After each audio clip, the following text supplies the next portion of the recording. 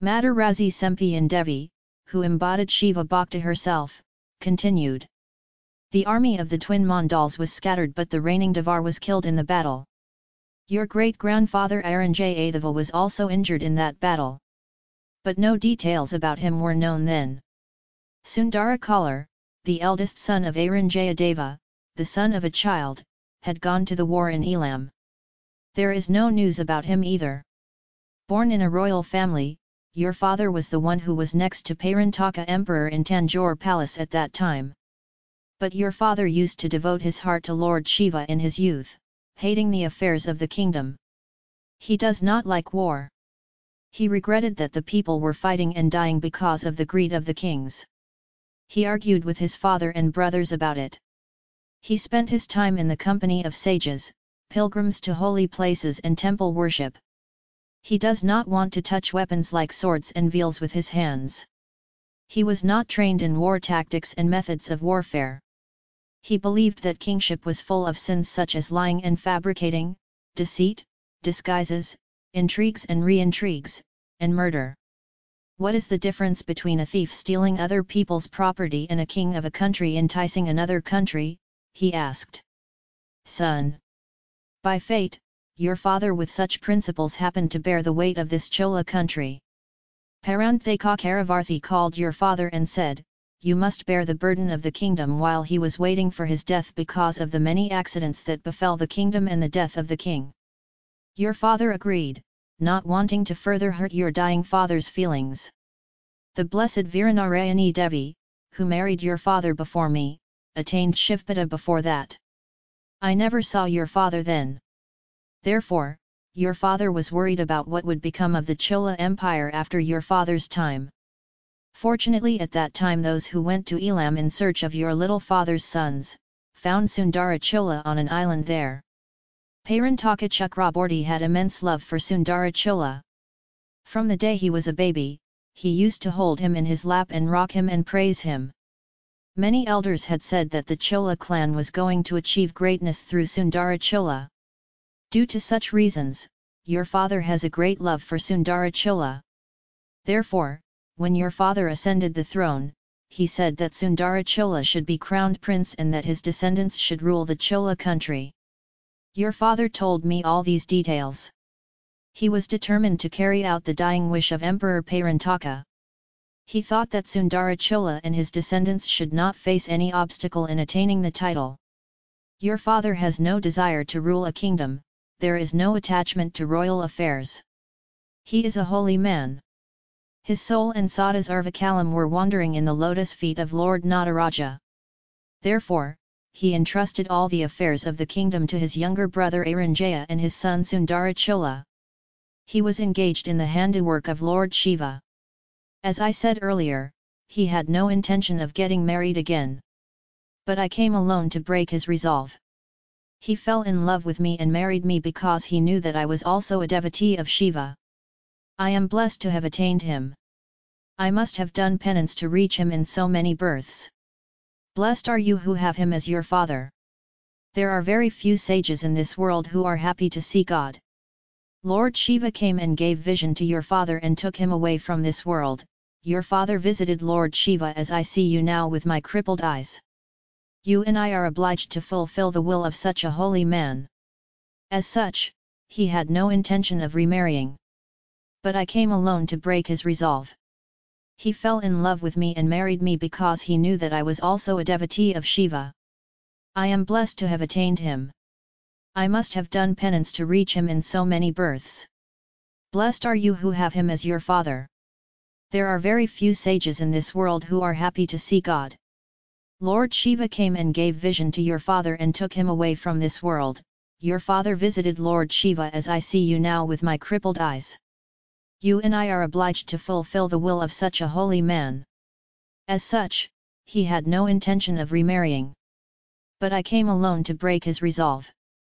He fell in love with me and married me because he knew that I was also a devotee of Shiva. I am blessed to have attained him. I must have done penance to reach him in so many births. Blessed are you who have him as your father. There are very few sages in this world who are happy to see God. Lord Shiva came and gave vision to your father and took him away from this world, your father visited Lord Shiva as I see you now with my crippled eyes. You and I are obliged to fulfill the will of such a holy man. But I came alone to break his resolve. He fell in love with me and married me because he knew that I was also a devotee of Shiva. I am blessed to have attained him. I must have done penance to reach him in so many births. Blessed are you who have him as your father. There are very few sages in this world who are happy to see God. Lord Shiva came and gave vision to your father and took him away from this world, your father visited Lord Shiva as I see you now with my crippled eyes. You and I are obliged to fulfill the will of such a holy man. But I came alone to break his resolve.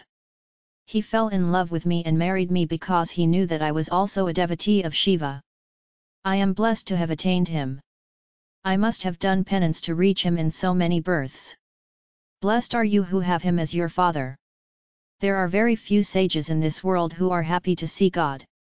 Lord Shiva came and gave vision to your father and took him away from this world, your father visited Lord Shiva as I see you now with my crippled eyes.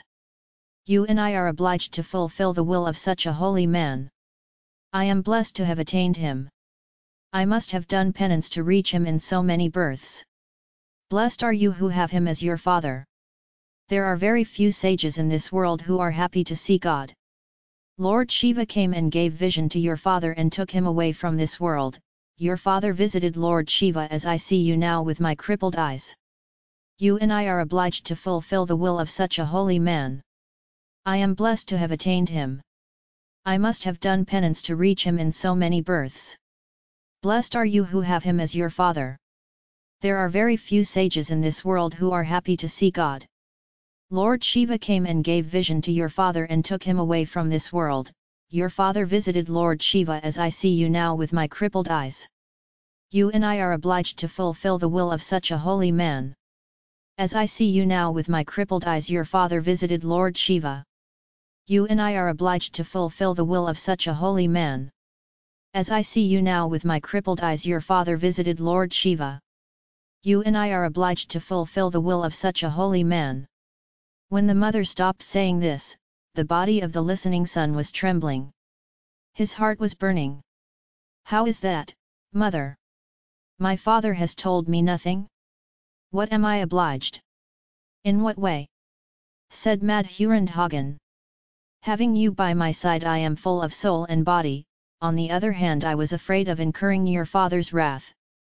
That great man was not angry with me but he left me with the responsibility of fulfilling his promise. Son! I made a promise to your father that I would not attach you to this worldly life and raise you to become a devotee of Shiva. Until some time ago, I thought that I had fulfilled that promise. But, son of my life! O rich son of my eye! I have been hearing something for some days. Every time I hear such talk, my chest hurts. Won't you soothe the pain in my chest by assuring me that everything I hear is a lie? Mother Sempiyan Madhavi begged. Mother! Your mysterious words hurt my heart too. What do you hear, what do you expect from me, what assurance do you ask of me? Madhurandhagen hissed. Child! You seem to have lost the power to know what is in my heart. You say that I must publish it, well, I say. I hear that your mind has fallen from the river Ganges, a place of devotion to Shiva, into a muddy puddle. I hear that you aspire to ascend the throne of the Chola clan. That our enemies have corrupted your sacred soul in such a way. I know. If you say that what I have heard is not true, my mind will be at ease. Said the old woman. Madhurandhagen stood up from the pedestal on which he had been sitting. Seeing his agitation, his mother woke up. None of my enemies have corrupted my mind. Are those who want to put me on the throne my enemies? Are those who have come forward to give their lives for me? Not a single day. Who is really my birth enemy? It is you who gave birth to me. Cried Madhurandhagen. Out of rage he forgot his honor, forgetting that Chinnapulavetare had told her to change the mother's mind with kind words, he lashed out. They have made the mother the enemy of the son. I will never relinquish my rightful Chola throne. I will not let go even if you say so. I will not listen even if my father, who has attained Shivapada, comes back and tells me. This Chola kingdom is mine, this ancient throne is mine, I own the crown of jewels, which was worn so richly by charcoal, I will reach them.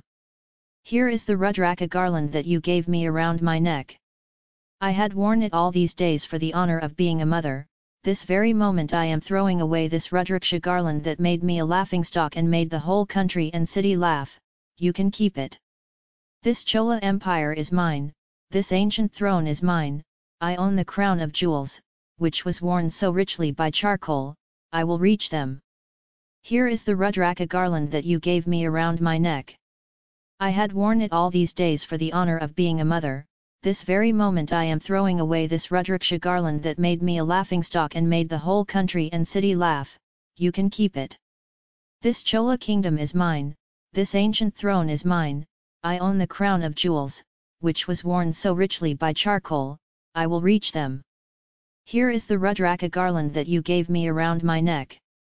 I had worn it all these days for the honor of being a mother, this very moment I am throwing away this Rudraksha garland that made me a laughingstock and made the whole country and city laugh, you can keep it. Madhurandhagan was furious and tried to remove the Rudraksha garland from his neck in a hurry.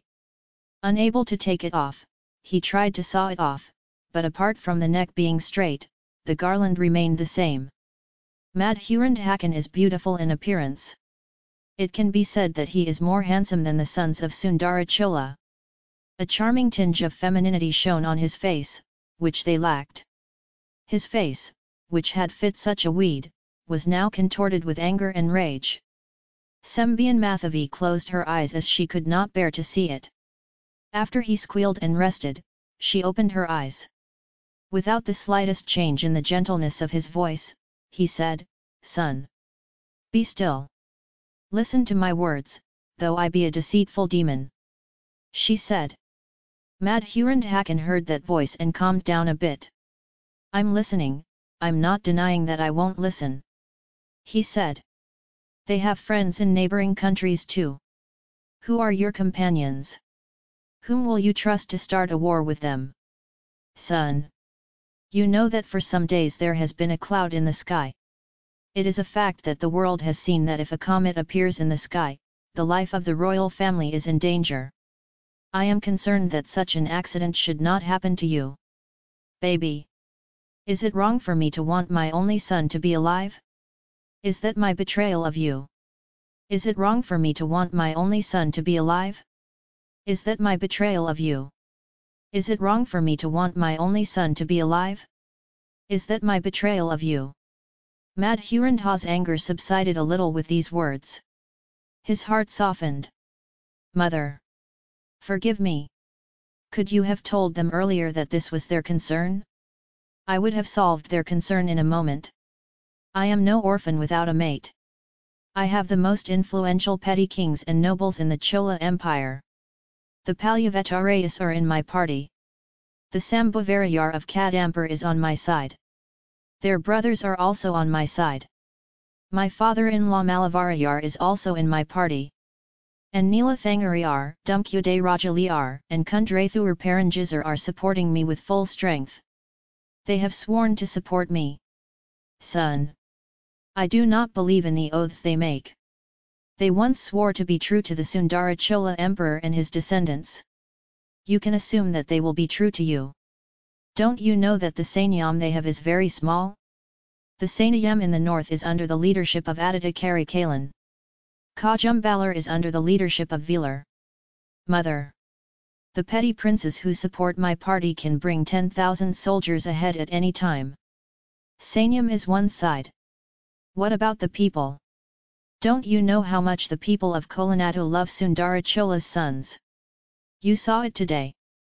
If Arulmozhivarman or Aditya Karikala had come to this ancient city today, how would the people have gathered and welcomed you?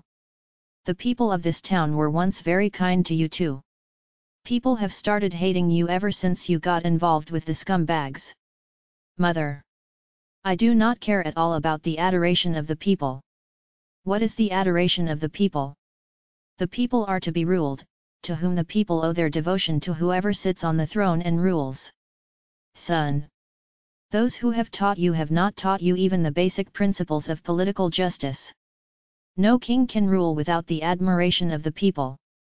There is no virtue in ruling like that. While the old lady was saying this, a great commotion was heard at the palace gate. Screams, curses, angry voices, and questioning voices rose from thousands of human continents, heard like a terrible roar on the sea when a great wind blows. Son! Some great calamity is approaching the Chola Empire. This is the first sign of it. I will go outside the palace and find out what is the matter. Until then, stay here. Said the mother.